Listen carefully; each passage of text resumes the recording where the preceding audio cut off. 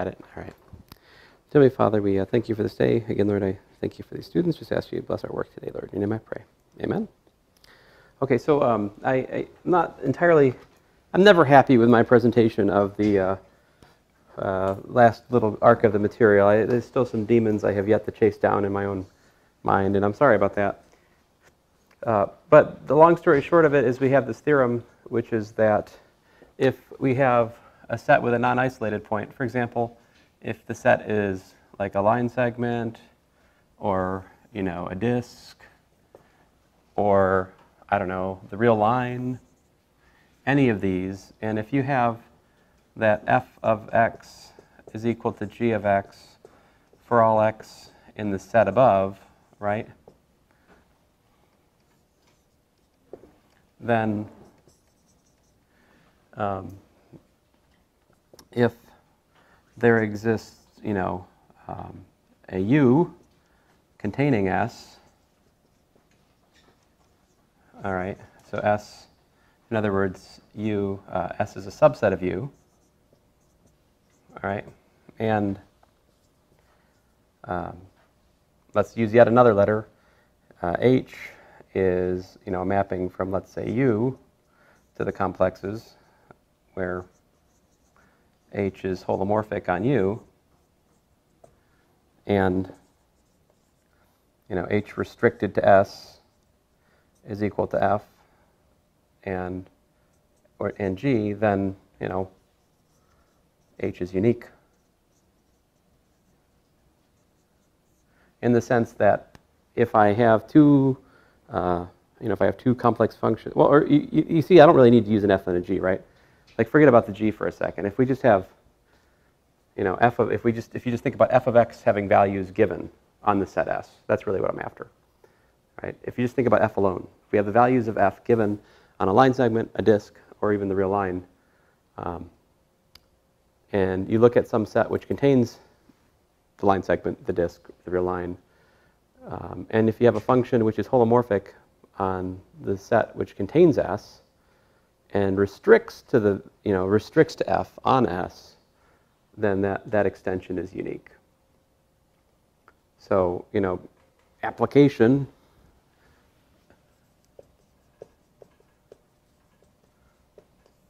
if, you know, we could define f of x equal to the sum n equals 0 to infinity x to the n over n factorial for all x in the reals, right? You could use that as the definition of a function. Yep. you said that that extension is unique, but is h like restricted to s or is it extended somewhere? h is a function on u. So what is the extension? h is the extension. h extends. To you.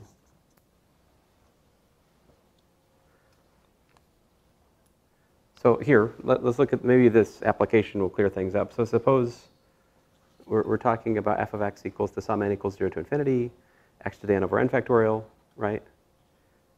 Um, you can prove that that function is um, defined, right? Uniquely so. Well, not uniquely so, but I mean, that function is defined. It, it, it, that series converges for any real x by the ratio test, right? Apply the ratio test to this, one of the first problems we usually give you in Calculus 2.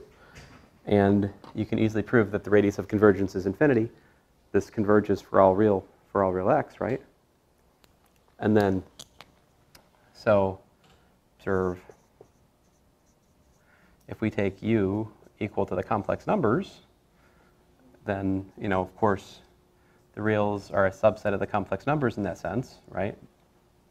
And if we look at h of z equal to the sum n equals 0 to infinity z to the n over n factorial, right?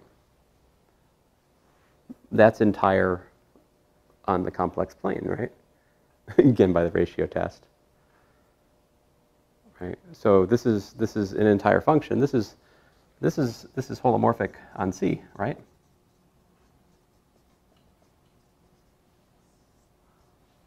So the extension theorem says that H is the unique holomorphic extension of F to the entire complex plane. And of course, this is the complex exponential. Does that make sense? I mean, the picture is sort of this, right? I tell you the values on the real line, right?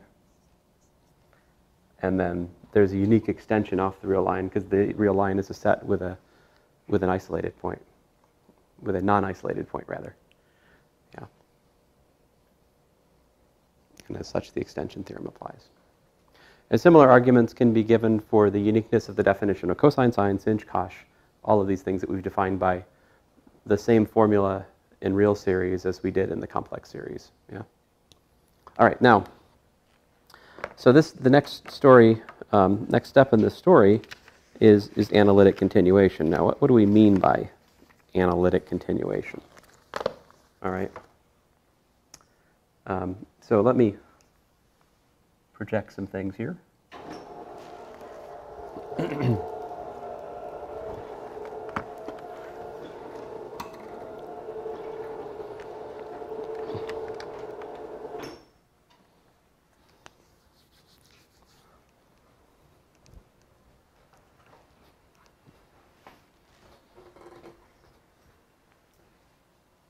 There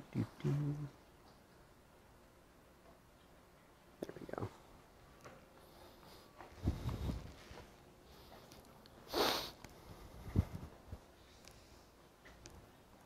go.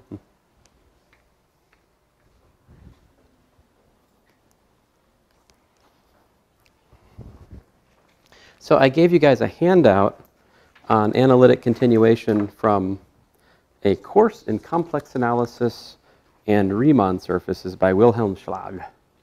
This book is incredible. This is the second course in complex analysis that I'd love to teach, but we don't offer here. And probably that one of the central uniting themes to this book is the problem of analytic continuation. All right, so to really understand it, it's a deep topic. All right, so we're just going to dip our feet in the pond here, not, not really, really understand things. But this opens up a family of questions which, which ultimately leads to deeper complex analysis. And you've already bumped up against these questions as we've looked at like the multiply valued log- logarithm. It's, it's already that. So here's, here's the idea. Suppose we have a function f of z, which is holomorphic on some domain. All right? And, um, thanks, Sam. If we consider a point in that domain, then we know that we can expand the function as a power series at that point, right? On some subdisk of the domain, possibly, right? Um, now, I mean, definitely it converges on a subdisk. Uh, however, and, but the thing is, if you don't just take a disk inside the domain, maybe this series actually converges outside the original given domain of definition for the, the function, right? Um, I'll see that in my next example, so just hang on with me there. Uh, so if we, if we define g of z by the power series, all right, for f of z at z naught, then the natural domain of g of z, is, the disk of convergence, if you will, it, it will contain the disk, which is inside D, but it could be bigger. and that's the idea of continuation. Here, here's a silly, very silly example. Um, this one's really hard to see because if you have f of z, I mean, this is almost a worthless example. I don't know why I leave it in the notes, but f of z equals e to the z, all right?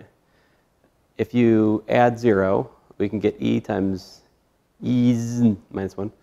And then um, expand that at 1, we get this, right? So the disk of, okay, so here's the, let me re recap here. What's my domain of definition for e to the z? It's very, it's very artificial. What am I doing? I'm saying that the domain is the annulus, right? Let me draw a picture to support this example so you can understand just how silly this example is. This example is extremely silly. So the domain for f is the annulus between 1 half and 2. All right. Centered at the origin. So I'm saying that's the domain for f. The formula for f is given by the exponential. So you know that my restriction to the domain of the annulus is totally artificial, right? We could take the domain for the exponential to be the whole, whole complex plane. We know that.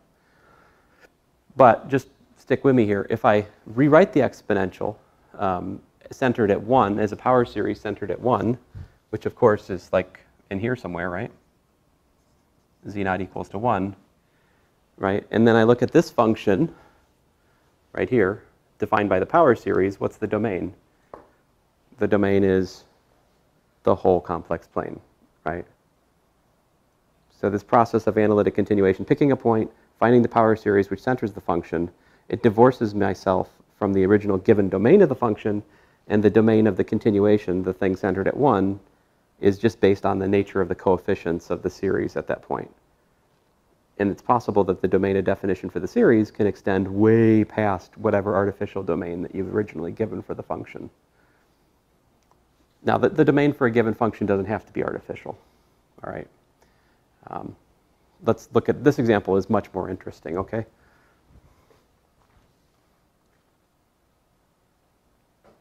So here I look at the function initially defined by this, well, this is almost a power series. To be picky, this becomes a power series if I rewrite it as 1 half to the power k times z to the k. Now, that is geometric, right?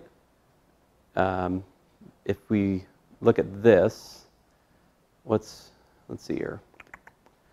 I, well, I said that this is actually equal to the geometric series 1 over 1 minus z to the 2, right? 1 over 1 minus 1 is z over 2, which we can simplify to 2 minus 2 over 2 minus z, right? Um, so do you, do you understand? So this formula is initially, the, the initial formula is going to be defined on the, um, let's see here, the blue circle, right? The blue circle is the initial domain of definition for, for f. Are you guys with me? So the geometric series converges for modulus of z less than 2, which is the blue circle here. All right? Then what I do is I, I convert it over to the rational function, all right? And then I decided I want to recenter this thing at, at minus 1 rather than 0. It's initially centered at 0. I'm going to center it instead at minus 1. To do that, I add 0 creatively in the formula for the, ra the rational function formula for f like so, right? And then that brings this 3 out here. And then we factor the 3 out, we get that, all right? And then geometric series, again, brings me to 2 thirds, 1 over 3 to the k times z plus 1 to the k. When does this converge? Well, this converges when the radius z plus 1 modulus of z plus 1 over 3 is less than 1, which is to say that z plus 1 is less than 3, right? And that's the green circle. Inside that, we have convergence of this series. So what I've done is I've analytically continued the function that was defined in the blue circle over here to minus 1. And in so doing, the domain of definition for the series expanded.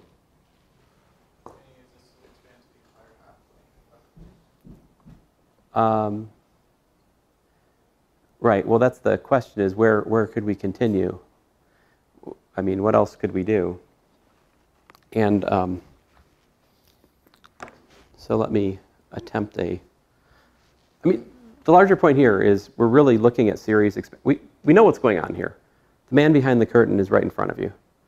The man behind the curtain is just the rational function 2 over 2 minus z.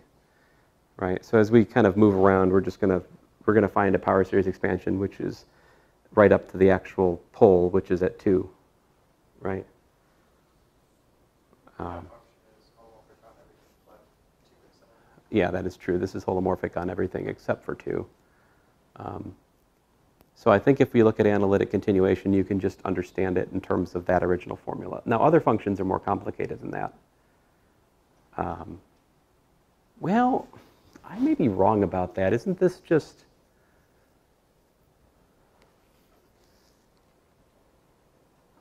No, no, no. I'm thinking about analytic continuation of, log, of the log, which is not this, right? It's the integral of this. That one's more interesting. as you've seen in your homework problem already, in the sense that if you integrate one way around, you get one value. If you integrate the other way around, you get a different value. Um, all right, so So if we study the analytic continuation of a function defined by a series, the main question we faced is the nature of the function on the boundary of the disk of convergence. Um, so I think, uh, let's see here. I, I, need to draw some pictures, and they're not in my notes. The, the, the handout that I gave you gives you some sense of the picture I'm talking about, right? Um, let me put this away for just a minute. Come on. Come on. No, I said stop. It doesn't believe me the first time I press it. It's like, do you really mean it? like, yes, I really mean it. Go away for a second.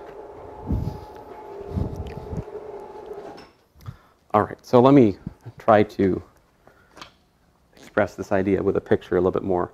So suppose we have a function um, you know, and the original domain of the function is uh, whatever. Actually, it doesn't really matter. Honestly, analytic continuation doesn't really care what the original domain of the function is. It's not really about that. So, so but suppose we have a function which is, you know, holomorphic, you know, in here. So suppose this, this u, you know, has f holomorphic on u. Then you pick a point you pick a point, all right? Say z naught. In u somewhere. And you look at f of z equals to the sum, you know, uh, a sub k, k equals 0 to infinity, z minus z naught to the k. All right? then that has some disk of convergence, all right? I'm not sure exactly what that looks like, but let's suppose that there's actually an honest to goodness obstacle somewhere on the boundary, all right? So maybe the, the disk of convergence actually looks something like this, right? What's that? Oh, okay. I mean, you said it's Santa Claus, and I'm, I'm pretty abstract, but I wasn't seeing it. Oh, now I see it. I'm an idiot. All right, then. Uh, so analytic continuation is done along curves, is the thing. Okay, so you uh, can look at a curve starting at z naught, and then you pick another point along this curve, say z1. Right? And let's do it over here, z1. Okay, that, that, that point can even be outside the original domain of definition for your function, much like the example I was showing, right? Now, then that, that, that point, and uh, let's see here. Oh, curses. I, I have to have it inside the, the, the red circle. It has to be inside the red circle because it has to be inside the domain of the previous disk, yeah? And so, but if it's inside the domain of the previous disk, you can recenter this to get, let's say, f2, well, let's say f1. I'll call this f naught. f1 of z equals to the sum k equals 0 to infinity of, I don't know, let's say a upper 1 sub k z minus z1 to the k. Right? These coefficients, the a sub 1, a upper 1 sub k, these are new coefficients. Right? Formally, you could get them by doing what?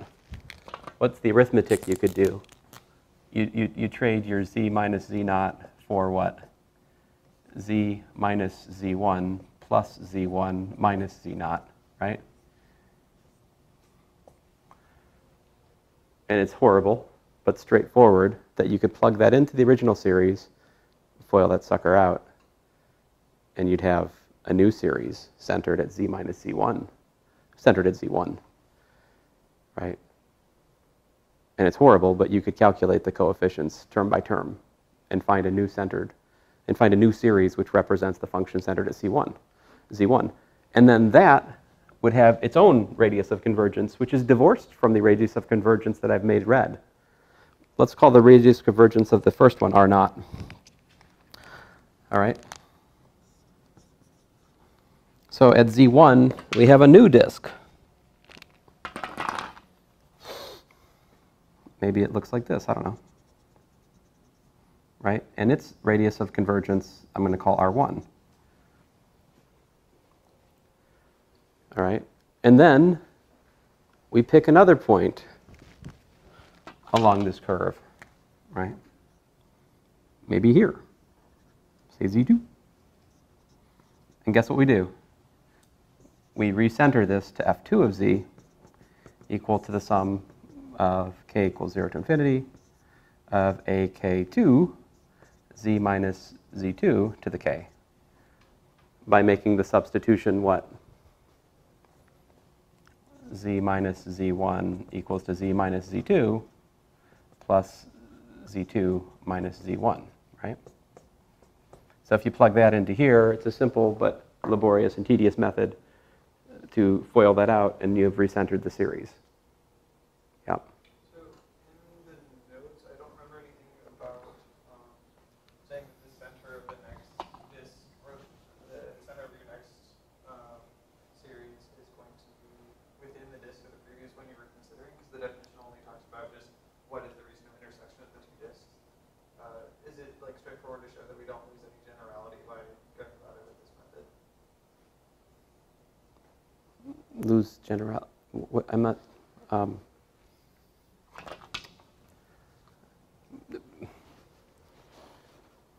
and say again, in the notes, I do. I just consider what? In the notes, you just say we have a bunch of, you know, we have all the points along the curves, and then for each points nearby, we consider the area of intersection, but we don't insist that the center of one disk be inside of the other disk. Uh, I don't. Oh, Is that important, or does? I think it's important. Yeah. Yeah, I think so. Could you give an example of where those would be different? It seems like those should be the same. Well, um, I think it's important once you're going outside the edge of what's known. Maybe it doesn't matter to what we're looking at in my notes because in my notes it's happening inside the universe of a domain of definition for an analytic function. In which case, there's you can calculate the power series at the new point independent of the previous disk of convergence. But here, the ability to calculate in the green circle is coming from the fact that Z1 was already inside the red circle. And then like this green circle is piggybacking into the unknown out into here. See, at this point, this blue circle is outside my original domain of definition. That's the continuation. So I, I think it's context, maybe, in my notes. I was assuming that we're working inside a universe um, where the function is known to be holomorphic on the whole set. So then I can expand about any point in the set, and I can compare expansions at different points by the, you know, the uniqueness theorem. Um, I don't know. I'm sorry, Sam. No, that makes sense. But this is, this is the, the broader definition of analytic continuation is you, you pick a curve and you start at a point where you know it's holomorphic, you find the power series, you recenter a little bit along the curve, and then you keep doing this. And you can see the picture, what you're going to do is you're going to get, you know, circle, a circle, a circle, a circle, and they, these functions will, um, these functions will agree that any two power series along here will agree on the intersections of the circles, right? But if you keep doing this, yeah, if you keep analytically continuing like this, as horrible as this is to imagine, and you can come back, you know, start, end, and if you if you keep going, you can come back to where you started. Will you come back to the same function? The answer is no. Not always.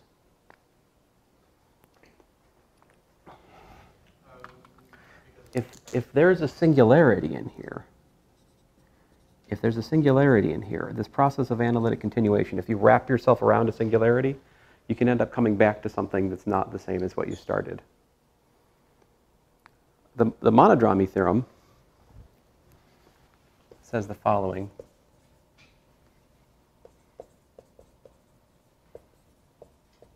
Basically, here's the deal. If you have this, this curve gamma 1 and this curve gamma 2, all right?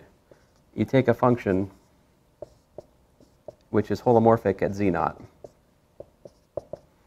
And, and then suppose that you take this function and you analytically continue it along the path gamma 1, all right? And suppose that you analytically continue f along the path gamma 2, all right? Um, then you will you will get the same you'll get the same analytic continuation, all right, if there exists a function um, how I should I'm going to butcher the statement of this. See if I have it in the handout for you guys.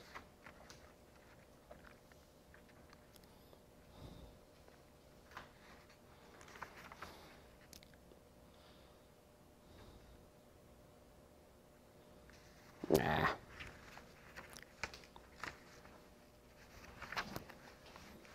Ah, it's no help to me.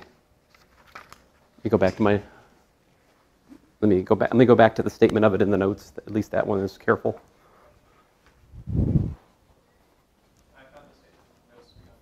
Ah. you know, you you can guess that I'm going to get into trouble here, right? I just showed you that analytic continuation is something that takes the better part of the second course in complex variables to do properly, right? So there are going to be some abuses here, and the abuses are largely topological, actually, if you get right down to it. Um, to really understand this topic carefully, we need to study what's called homotopy, which is the idea of smoothly deforming one curve to another.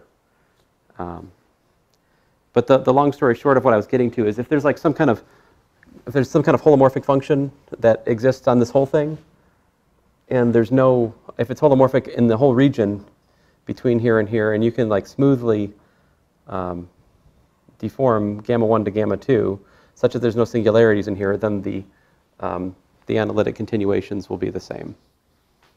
They'll match up. So if we if we have um,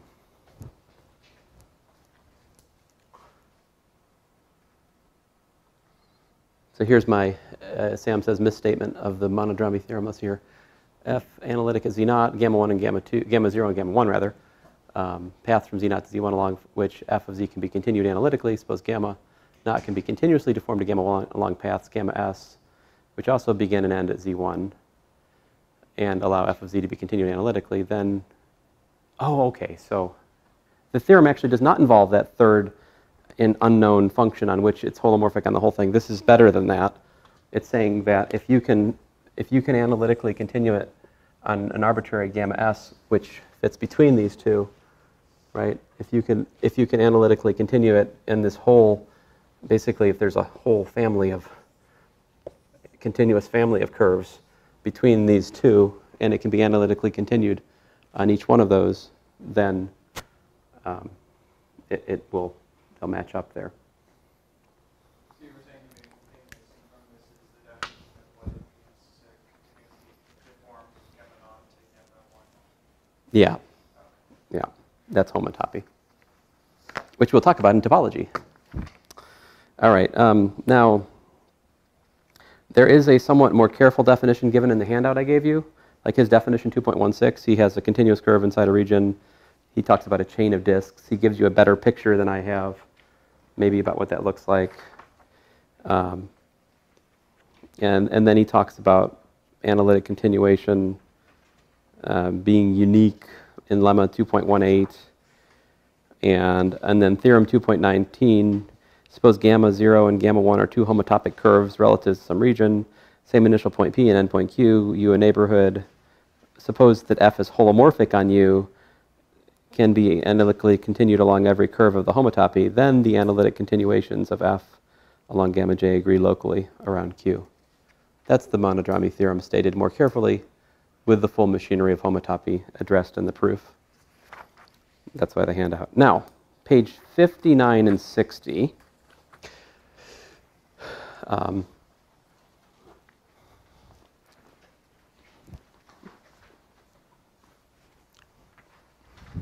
put this away again.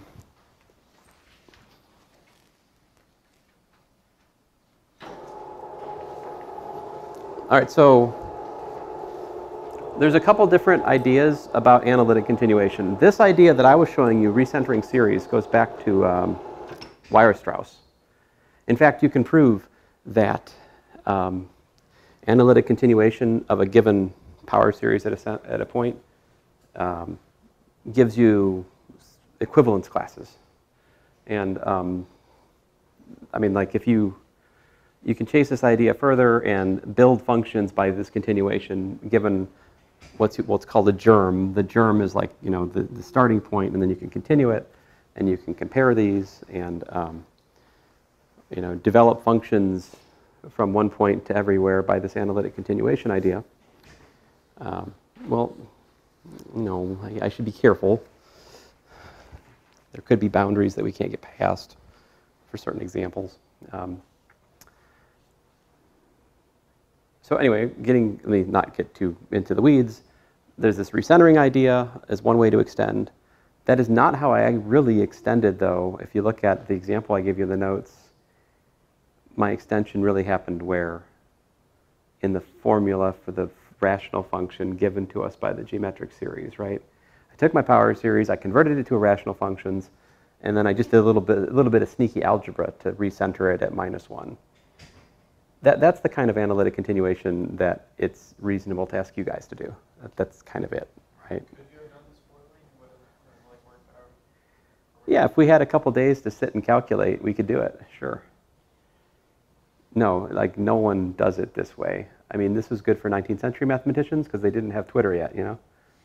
Um, and, uh, Friday already, we Saturday and Sunday. oh, you have Saturday and Sunday? Yeah, that, I mean, maybe, I don't know. I, I think it would, uh, that's a beastly calculation, all right? It's direct manipulation of the series is quite horrible. Now, what page 59 and 60 of the handout show you is a different kind of way of analytic. So, but my point was the example in the notes, I didn't really use the recentering of the series to calculate the recentering, right? I, I did something sneaky to work around it. Um, in a similar way, pages 59 and 60 show you a pretty typical way in which something's analytically continued. This is often something like this is done. In, in page 59, the gamma function, gamma of z, is defined to be the integral from 0 to infinity of e to the minus t, t to the z minus 1 dt, right? And this is for the real part of z being greater than 0. So the initial domain of definition here is what?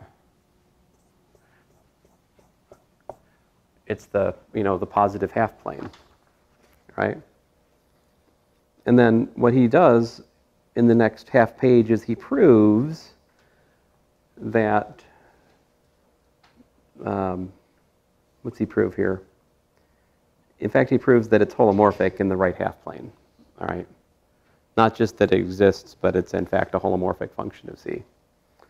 Um, he says, and he, he doesn't do all, all the details here, but he, it gives a kind of uh, ad hoc um, argument right here. And then he says the same calculation establishes the functional equation, which is what? Um, he gets the gamma of z is equal to gamma of z plus 1 over z for the for all the real part of z being greater than minus 1.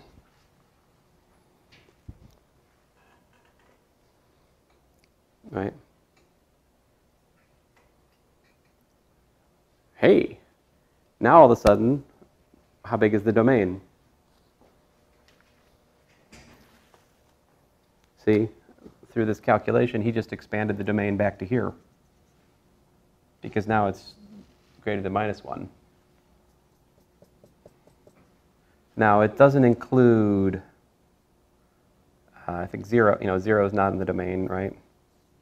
And minus 1 is not technically in the domain, right? Those are poles for the function. It's, it's holomorphic away from those points. So if a function is holomorphic everywhere, except for a couple of like isolated points where it's got a divergence that's not a nasty divergence, if it's a so-called pole, as we'll define carefully in the next couple lectures, then the function is said to be meromorphic. Meromorphic means it means almost holomorphic. Is what it means essentially. I mean, it, it means eh, you know all but a few singular points. There could be countably many. But it, a meromorphic function is something that's holomorphic except on a uh, except except that it does have it could have some poles they're isolated and they have finite order all right I'll, give this definition more carefully some other class. I just want to get the term out there. So you're you know you have this extension and, and then you can do this integration by parts trick again and then extend the domain to z less than z greater than minus 2 and if you look at page 60 on the handout you see what he does. He just keeps doing it right? And he says, okay, so this allows to analytically continue gamma, gamma as a meromorphic function to the complete complex plane. It has simple poles at zero and also negative integers.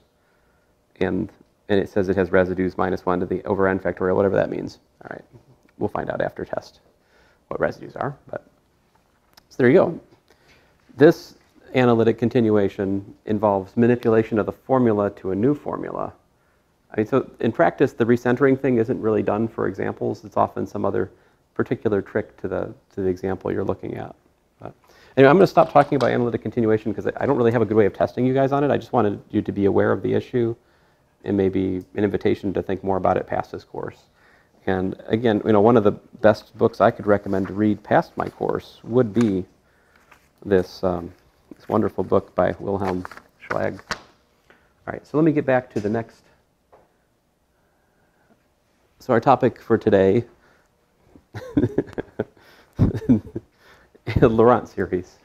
Well, not Laurent series yet. We're actually going to talk about the Laurent decomposition.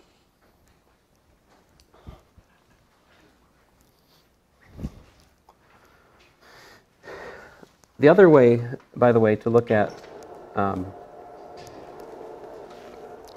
the other way to look at analytic continuation has to do with Riemann surfaces. Um, and, you know, ultimately, while we're waiting for this to warm up, ultimately what he shows in here is a, is a beautiful, a beautiful theorem. He says every compact Riemann surface is the ramified Riemann surface of some algebraic germ. And here's, here's another sentence which sort of unravels that a little bit. Any compact Riemann surface is obtained by analytic continuation of a suitable algebraic germ. An algebraic germ is you just given the power series of something at a point, right? Or maybe, yeah, something like that, a power series at a point. And if you analytically continue that, you can, like you said, get any compact Riemann surface. So the thing that we can probably wrap our mind around a little bit is the, um, the logarithm right? If we analytically continue the logarithm, we get all of the different branches of the log. And if you wanted to separate those values of the log, you can imagine taking, so how many, how many values of the log are there? There's, there's a countable number of them, yeah?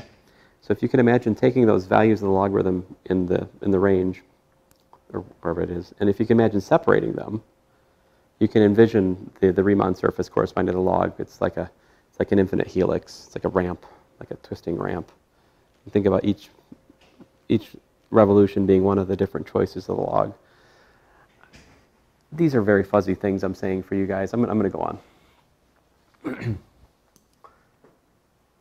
All right, so Laurent series and the isolated, uh, isolated singularities. I will mention to you, Laurent um, was a uh, engineer, and this work he did on um, what we, we now know as Laurent series and the calculus of residues um, really wasn't known until after his death. It was uh, his widow publishing some things that ultimately um, became how things, people became aware of it. Um, and I think from what I've read, it seems like the mathematical community didn't really quite get the importance of what he was doing until it was too late. But uh,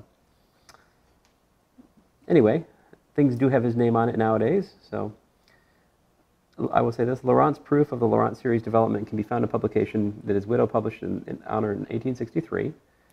And both Cauchy and Weierstrass had similar results in terms of what are called mean values. Well, you've talked about, we've talked about mean values in here, right? Uh, around 1840 to 1841. This is kind of fun. All known proofs of the Laurent decomposition involve integration, except there's this guy named Pring, Pringsheim wrote a 1,223 page work which avoided integration and instead it directly just in terms of mean values. The proof I will show you uses integration. Uh, apparently, if you don't, if you want to have a proof which doesn't actually use integration in some sort of form or fashion, it costs you about a thousand pages of proof. So, um, yeah, there you go. All right. So let me give you the big picture of what we're about to do. We have looked at functions analytic on disks, right? This series, this chapter is about studying things that are holomorphic on annuli. All right, so in between two, two circles. Now the one circle could go off to infinity and the inner circle could vanish. So we still cover, recover disks or even deleted disks, like a disk with a point missing in the middle. That's still an annulus for us. So when I say annuli, I'm talking about like the sort of more broad idea of an annulus, which would include disks or the whole complex plane. Um, and lots of fun things in between. But here we go, definition. Um, well, here's just the def. I mean, we already have this definition. Excuse me. If I say something's holomorphic at a point, that means that there's some disk, right? Some open disk centered at the point on which it's holomorphic. So I still want to use that local notion of, of holomorphic. You might say locally holomorphic. Here's the Laurent decomposition. Uh, suppose that we have inner radius rho, possibly zero, outer radius sigma, possibly infinity, all right? And suppose f of z is analytic on this annulus, right? Then f of z can be decomposed, this sounds really rather morbid, as a sum of f0 and f1, where one of these, well, f0, is analytic from the outside in. And the other one, F1, is analytic from the inside out. So we have, we have one that's analytic on the largest disk, which you can see inside the, the annulus, and the other one is analytic on the largest exterior disk that you could see from the annulus. Um, so just to give you a picture again, so here's the annulus. I'll draw two ones we're saying that F0 is, let's see here, which one of these is rho? Rho, sigma, right? And if I wanted to draw the disk of convergence for F, F1, where is it? Ah, why? So this is where F1, F, or rather F0 is, is holomorphic, right? Or you could say analytic if you like. On the other hand, F1 is where it's analytic for beyond rho, right? Which means F1 is analytic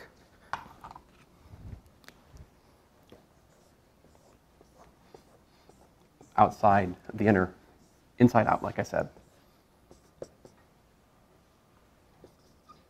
So where are they both holomorphic?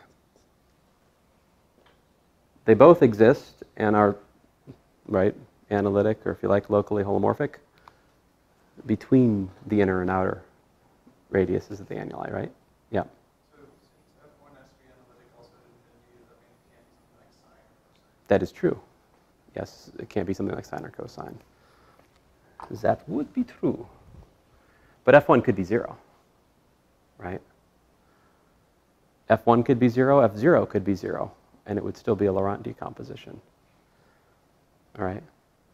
So like if you think about, if you think about, for example, sine of z, on the entire complex plane, what's its Laurent decomposition? It's, it, it, it's f0 is equal to sine z, f1 is equal to 0.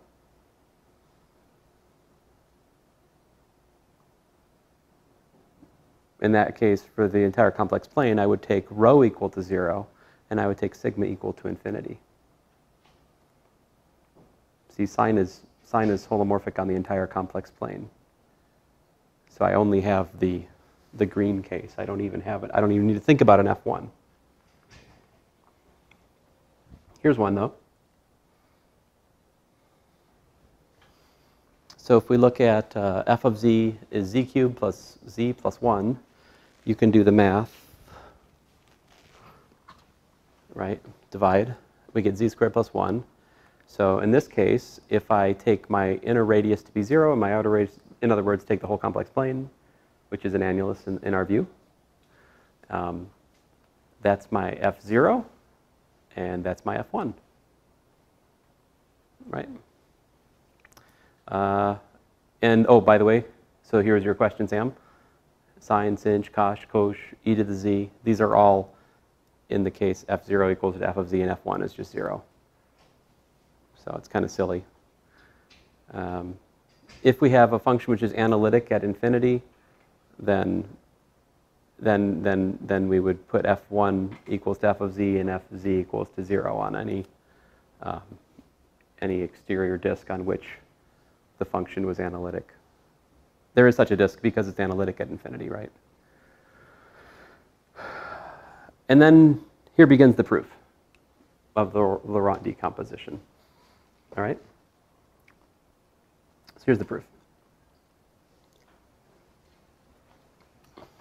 So suppose we've got 0 less than or equal to rho less than sigma less than or equal to infinity, and suppose we've got f as analytic on, on that, that annulus, all right?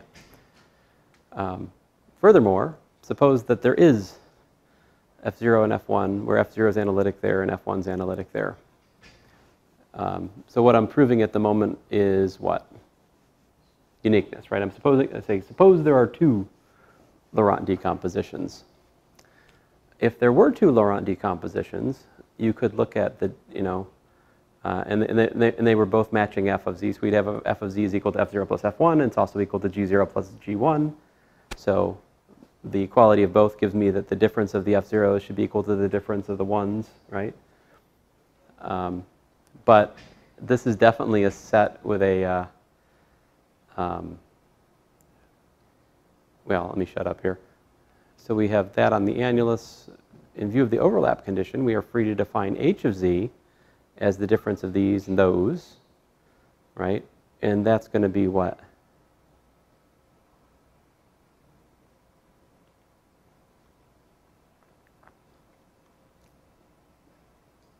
H, H of z is analytic where?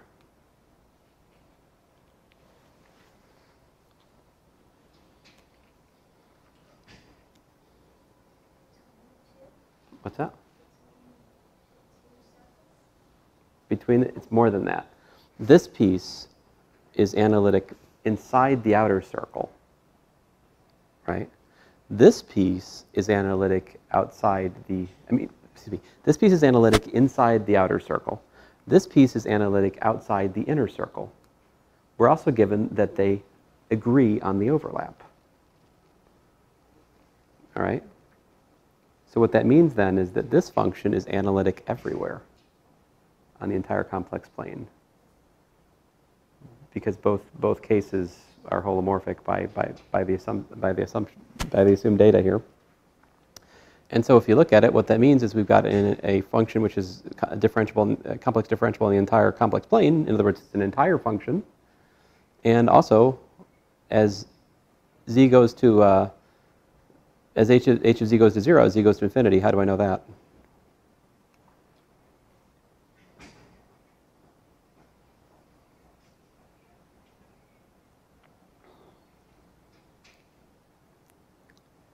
Because the zeroth piece of the, this piece has to vanish as, wait a minute. Well, anyway, I know that some, somehow I know that. There's probably an obvious reason that I should know that. But anyway, setting that um, quandary aside here, We have then a bounded entire function. We can apply Leibniz's theorem to imply that h of, h of z is equal to a constant for the entire complex plane. Um, in particular, h of z is equal to 0 on the annulus, so apparently h of z is everywhere 0, which gives us the uniqueness. H of, h of z being 0 is the uniqueness of the Laurent decomposition. It says that f0 is equal to g0 and that f1 is equal to g1, which is uniqueness of the decomposition.